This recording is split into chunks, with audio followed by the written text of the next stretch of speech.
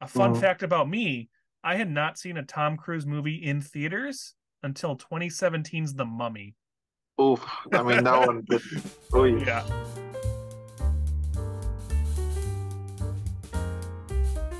Welcome to Crosscut, a movie review slash trivia challenge show. I'm your co-host Josh. And I'm your other co-host, Chris.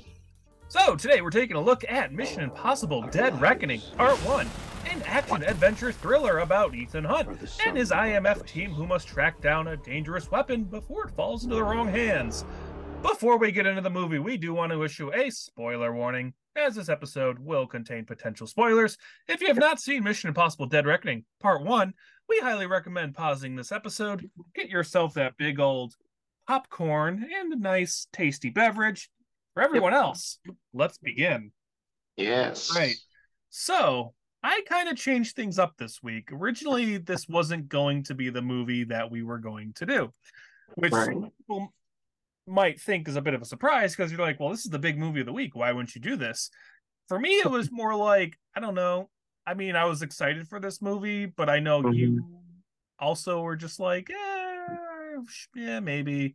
Yeah. Like, I, Yeah. it'd be a good movie for to go enjoy and not necessarily have to review. But then I saw this movie on Monday. It was the advanced screening for my area, and I I was watching it and I was just like, "Damn, Chris, man, you should really watch this movie." you, I think you originally were like, ah, "I don't think I'm gonna go see it," right? yeah, I was like, I'm not like, because it's just it's another Mission Impossible movie. Right. But- So after the movie, I think I texted you that day and I was like, "Hey, I really think you should go watch this movie. It's it's really Right. good." And then I think you kind of were the one to uh, kind of initiate being Yep. like, "Well, do you want to do it for uh, the for the episode?" And I was like, "You know what? What the heck? It's such a good movie. It's going to be a, a big movie this Yep. week. Yep. There's a lot of good stuff to talk about." So we actually ended up doing this movie. And I'm glad because I'd rather do a movie that's in theaters rather than watching a movie at home. Right. Right. Right. Right. right. So, for me, why I kind of got to this point with Mission Impossible, I've never been the biggest Mission Impossible fan. I did see the last one in theaters back in 2018. It was a good movie. It was uh, enjoyable. But honestly, this, it. yeah, Fallout, I think was that was that one. But honestly, this kind of all started about a year ago, and a little movie coming out called Top Gun Maverick was about to hit theaters. I mean, I saw it like opening day, and I was I, I really enjoyed the movie. It really felt like watching like a like a, a movie from like you know the '90s, just like a pure cinematic experience, and it was so much fun. I know you haven't seen it yet. I still think you should put it on the uh, bucket list to, to somehow watch it. If they ever did like a re-release in theaters, go see them theaters because it it's definitely a good uh, movie to watch in theaters. So what I about knew- Mission Impossible? yeah, so getting back to Mission Impossible, I kind of knew about this movie already. I think since then, I think they were promoting this pretty much since last year. At least we've known about it. some. Yeah. So I was like, all right, Tom Cruise, you won me over with Top Gun Maverick. I'll go see Mission Impossible when it comes out. And here we are. The movie came out, and I saw it opening day, and I saw it in IMAX, and it was actually a pretty uh, packed theater. So people were enjoying it and getting into it, and I was having a good time. And it's just like that's why you go to the movies to, you know, to, to for people to be laughing and applauding, and it was uh, it was just a, a great a great time and I was like, I'm gonna go see this again. I do want to see it again. I obviously texted you, and then you saw it tonight. going in straight straight straight into action and and I was like, okay, I'm already pumped up, already already already expect more action, and that's exactly what I got. More action, more to the story, bringing the old characters back, like Luther and Benji.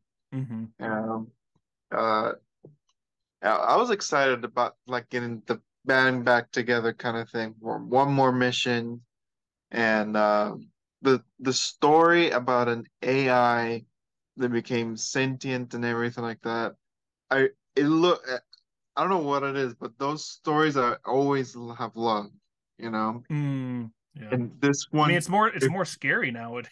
Honestly. Exactly. Like he, he his invi his vision was more like, yeah, modern day now it's AI. Some po some points in the movie where he you see the AI work work pretty much like when he's erasing Gabriel in real time hmm you know, or or doing the sub in the very beginning. Right. That was creepy. You know, like oh, it, it disappeared Yeah. and it's it's remote controlling your own torpedo. I was like, oh, yeah, yeah, yeah, yeah, yeah, yeah. Hacking the and imitating Benji's voice. hmm That was weird. Like, can you imagine if you're talking to someone and automatically they just change the way they're saying things and like, this is not you. Like, this Are is you not sure Benji. about that, Chris? Are you sure about that? I am. I promise I'm not AI. At least I, I don't think I am. How, how can you tell? What's the test to know if you're an AI or not? Yeah, th- th- there's a test. There's a You have test. Pour water on yourself. Uh, Okay. Okay, Okay, I'm now you're you're you're real. I'm not like I'm not frying up or electrocuting. So yeah, I'm I'm a I'm a real boy. I'm a real boy. The story is actually pretty pretty simple. You know, it is, Yeah. it is uh, there's an objective, and they need to get Yes. this. You need to get this key, which you know because this is part one, you can tell that it was all about getting this key, and then part two is Right, right, right, right. about finding the submarine and that kind of stuff. But it's all about getting these keys coming together. Very simple, Mhm. which is fine. You know, I don't need anything too crazy. I was gonna say, like you're saying about the keys, I did like that the keys kept moving around. Hmm You know, just like the lighter, like you said, it was a MacGuffin. hmm So like every time they it moved around, I liked how it is like, oh, they almost they just had it. They just had the key, and now it's like, okay, now the other guy has it. Yeah. Um, So two so two of my favorite sequences. The first one has to be the car chase in Rome. yes, that's definite. That was a good one. It's so Even good, the, the humor with the Fiat was funny. it was. You just see uh Pom Klementieff, she's in like the Hummer chasing them and she's like trying to start the start the Hummer and then all she sees is the little car whir- whirling around making the little noises is yeah, That was funny. that was good. And I mean the action is just great. They're just smashing into scooter bikes and Tom Cruise is just like, damn it, more scooter bikes and yeah. They were running into everything. I think the no- what's your other uh action scene that you liked about it? My my favorite is the uh it has to be the the train, but when the when it's falling off the cliff. When they have to keep jumping Oh, to the next train. Okay, That's my favorite. that one was cool. That was cool. I, I did like Yeah. that. I did like that. I don't know why, but the the scene in the alleyway between Yeah. Paris and, and uh the other guy, Mhm. but just because it's so simple, it tight closed tight. area. Like you can tell that the cameraman just had to get in there and just and just make it work. There's just so many like tight shots. Yeah, like I I don't know why I've always liked those kind of shots that were just so cramped, like uh like the first transport in between the buses and stuff Right. like that, or or or Old Boy, you know, those scenes I've always loved. So the and it's fact an, that they I guess it yeah, and I guess it's an important scene in the movie because that he spares her life. Yep. And you know she's gonna be back because there's that scene at the end where she's sitting there and the guy's like, "We got a pulse." You you know she's not dead, so she'll probably be back in the next movie. Her Yep. and um, there was like another character that I was like, "Oh, I think they'll bring him back at some point." Um, I'm trying to think who it was. Well, Luther, he kind of disappears towards the end. He's like, "I got to go do this thing." I'm not sure what that was all about. Well, um, but well, definitely he's probably just gonna pop up in the end of another of the next movie, you know. Yeah, I mean, I would imagine he'd be in the next movie, um, but he he does kind of disappear at the end. Um, but yeah, you know, Paris, she's probably going to come back and be on on their Oh side. yeah. Oh, uh, what did you think of um Ki- Kittredge? Oh, Kittredge, yeah. Kittredge being on the train. Did you see that coming? No, I didn't see that coming. I thought that was an interesting little Yeah. twist. So, yeah, And I didn't again think of the the director being there too. Uh, yeah. Cary Cary Elwes. Cary uh, yeah, yeah. Yeah. Uh, I didn't expect that either, and that they weren't like working together either. So right. like, well, because huh. like Cary Elwes, his whole thing was like, I he wanted to form an alliance with Gabriel for some reason. Um, yeah, But then Gabriel was like, you know, oh, you're the only one that knows where that sub is, and he kills him. And I think he was just doing that because he's working for the AI to protect right, them. Right. I'm he- not. I'm not. I wasn't 100 percent clear on why Cary Elwes was trying to work with him, unless he was just trying to get the key somehow. But I think he was just trying to get the key and this whole like superior thing of I want to control and rule the world thing. right, right, But like that, I was like, eh, all right, fine, because Gabriel already ha knew that, that that was gonna happen. You Mhm. know, he was already predicting everything because of the AI. So I think he was at that time he was just toying with him. And I guess the Gabriel character to talk about him for a minute because I was a little lost the first time watching the movie. I was like, was he ever established in the in one of the previous movies? And I looked it up, and he's not in any movie. And I know he's his whole thing was he was a, a flashback from like before Ethan joined IMF. Right. But I I, don't know if we ever do we ever see that part of his life. I can't remember the I first movie, so. so okay. Because you, you, you barely see about Ethan's life in any of the movies. Oh, okay. Gotcha. So I was confused too, like, who is this? Yeah. I was just I for some reason I was thinking it was like a previously established character from another movie, but then it wasn't. So it's like, okay, I guess he's just a new character, but he was before Ethan became part of IMF, Right? basically. I actually liked this character though.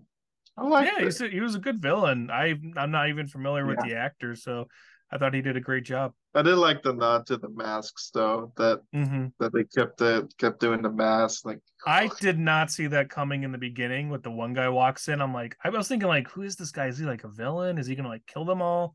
you know what the the first thing that popped in my head was like, what if it's I went like far out saying thinking of what if that's the AI Mm. disguised as a human? I mean, he looks so like not human. Like they look like Right? what an AI like- would look like.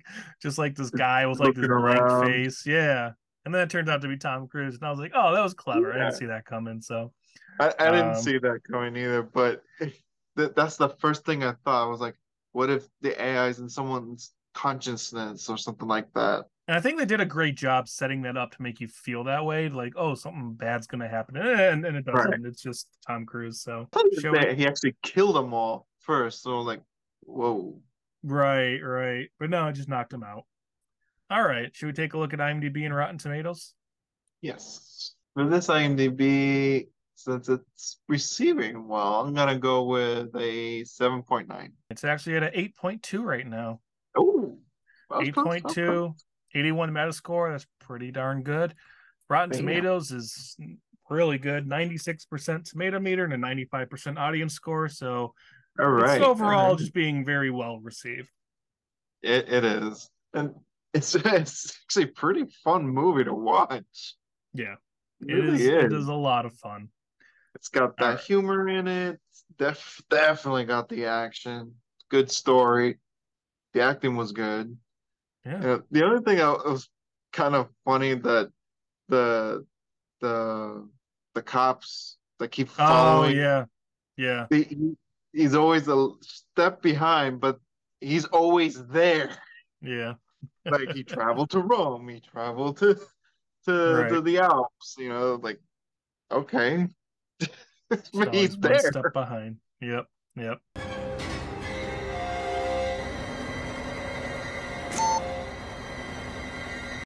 Quiz, hot shot. Two guys watch a movie. Who remembers the most about it? Well, let's find out. This is how it works. Chris and I are going to go back and forth asking the multiple choice questions that we each came up with. Whoever has the most points at the end wins. For our audience members, feel free to play along. Who knows, you might do better than us. Comment and let us know how you did. Now that we've established the rules, let's play.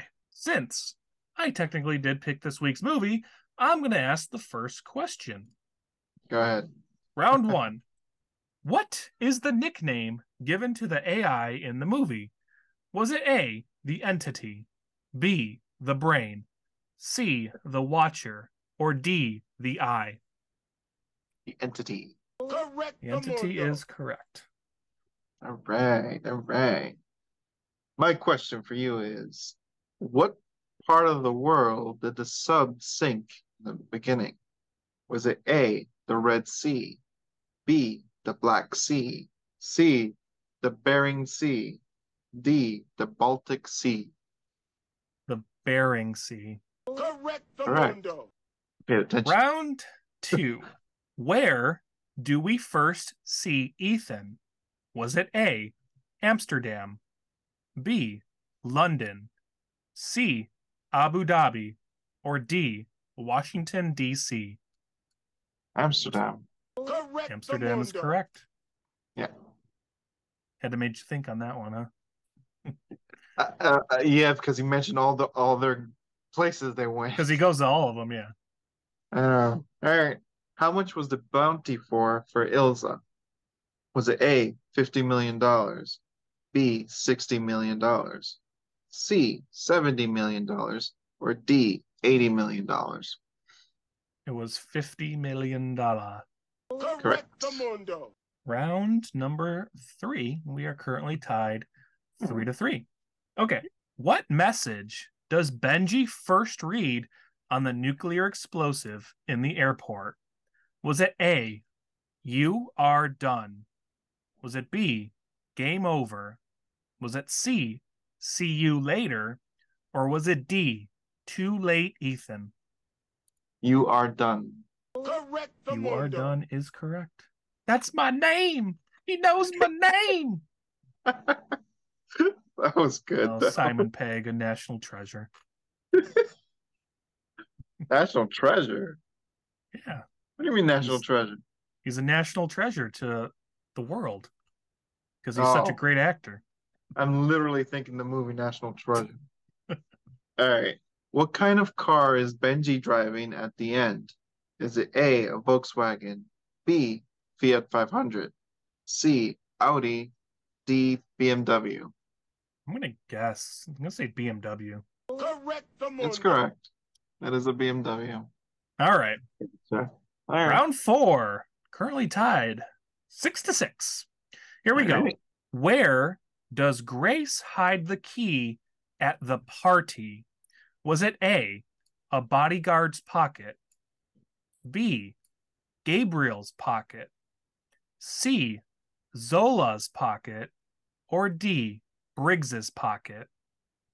Zola's pocket. Correct. That is correct. All right. Okay. What kind of device does Ethan use to get off the train? Was it A, parachute, B, speed wing, C, a cruciform, or D, Rogallo wing? It was B, Speedwing. Correct. Correct. All right, Right. final round. It is 10 to 10. It's going to be tight. What time does Gabriel set the explosives on the bridge for?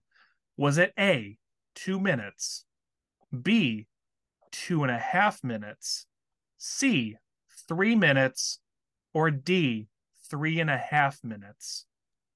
Two and a half. I'm sorry. No, Those two, three, three was two? Three, three minutes.